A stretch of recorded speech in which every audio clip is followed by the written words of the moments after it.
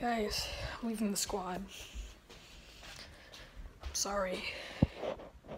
Just want to let you guys know. Bye.